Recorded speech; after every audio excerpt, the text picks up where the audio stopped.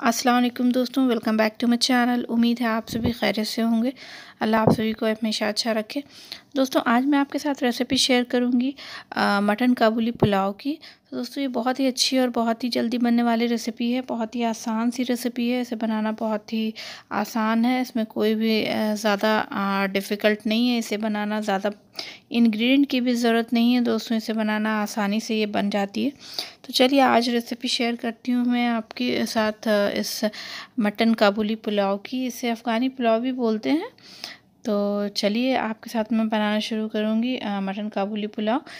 पर उससे पहले दोस्तों, अगर आपने मेरे चैनल को सब्सक्राइब नहीं किया है तो मेरे चैनल को सब्सक्राइब कर लीजिएगा और नोटिफिकेशन के लिए बेल बटन को ऑल पर ज़रूर कर दीजिएगा। तो चलिए दोस्तों, स्टार्ट करते हैं मटन काबुली पुलाव बनाना।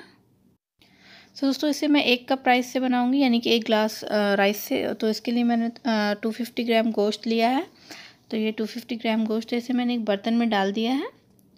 इस बर्तन में मैंने दो लाल मिर्च डाली, खड़ी, थोड़ा सा अदरक का टुकड़ा कट करके कट डाला है और साथ ही एक चम्मच लहसुन का पेस्ट डाला है। थोड़ा सा मैंने इसमें तेज़ पत्ता डाला है और बड़ी इलायची थोड़ी सी डाली है और साथ ही इसमें हम दो कप पानी ऐड कर देंगे। थोड़ा सा नमक इसमें ऐड करेंगे। टेस्ट के हिसाब से इसमें नमक मैंने ऐड किया है और अब हम इसे पकने के लिए गैस पर रख देंगे।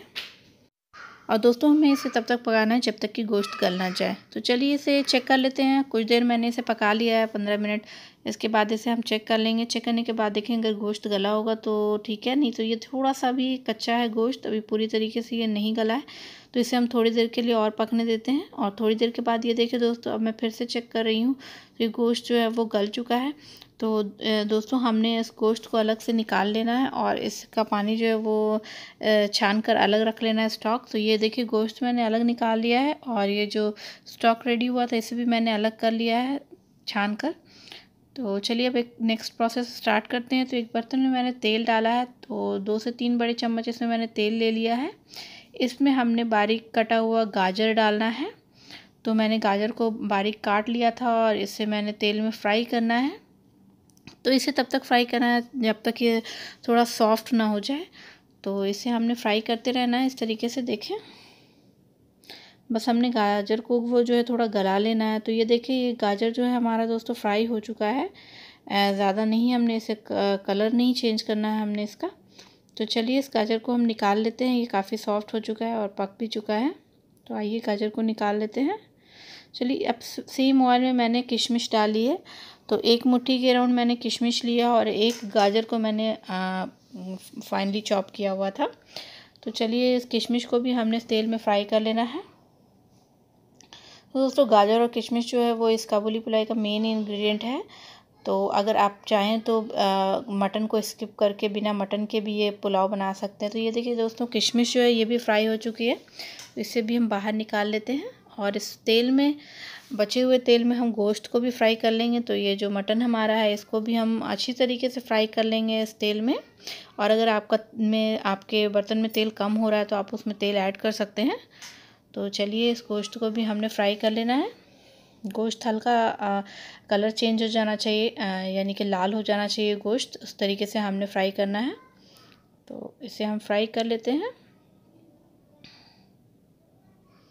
तो दोस्तों, ये जो गोश्त है, ये भी ऑलमोस्ट फ्राई हो चुका है। ये देख सकते हैं आप, इसका कलर चेंज हो चुका है। तो चलिए इसे हम निकाल लेते हैं।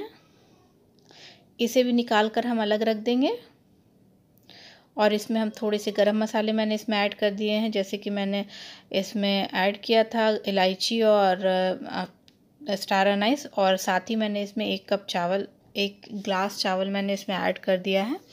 और इसे एक से दो मिनट के लिए हमने भून लेना है। चावल को मैंने पहले से धोकर रखा हुआ था। तो चलिए चावल जो हमारा भून चुका है तो आइए इसमें जो हमारा बचा हुआ स्टॉक है, वो इसमें मैं ऐड करूँगी। तो मैंने चावल जो लिया है, वो एक ग्लास है, इस ग्लास से मैंने लिया है। इसी ग्लास से मैं डेढ़ ग्लास या स्टॉक इसमें डालूँगी। तो ये देखें, ये एक ग्लास मैंने डाल दिया है। और ये हाफ़ ग्लास और मैंने डाला। ये मेरे पास एकदम इक्वल अमाउंट में स्टॉक बचा हुआ था। डेढ़ ग्लास मुझे चाहिए था और डेढ़ ग्लास मेरा स्टॉक निकला। अगर आपके पास स्टॉक कम है तो आप उसमें पानी ऐड कर सकते हैं। तो चलिए इसे हम ढककर पकने देते हैं।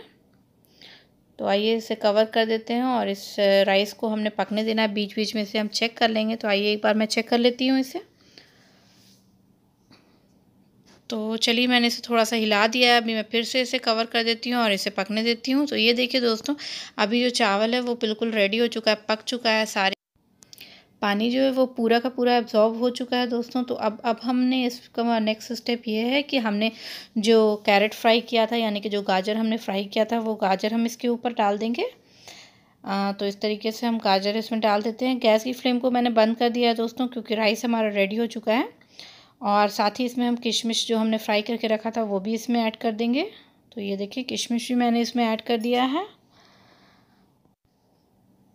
तो अब दोस्तों, जब किशमिश ऐड करने के बाद साथ ही इसमें हम ऐड कर देंगे जो हमारे मटन के पीसेस हमने फ्राई करके रखे हुए थे, वो भी इसमें ऐड कर देंगे।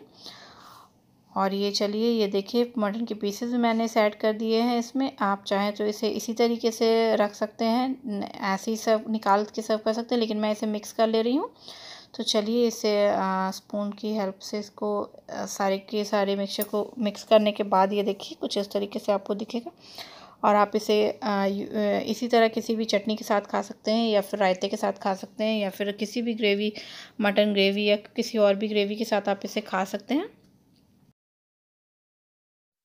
सो तो देखिए दोस्तों, ये जो मटन काबुली पुलाव है, ये जो बनकर तैयार हो चुकी है दोस्तों, बहुत ही यमी बहुत ही डिलीशियस बनी है और बहुत ही मज़े की बनी है।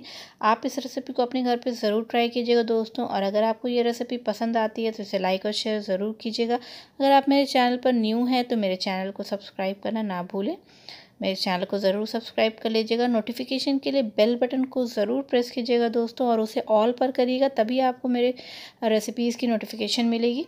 तो चलिए दोस्तों, मैं आपसे अल्लाह हाफ़ कहती हूँ। अब फिर मिलूँगी अपनी अगली रेसिपी के साथ। चलिए बाय टेक केयर अल्लाह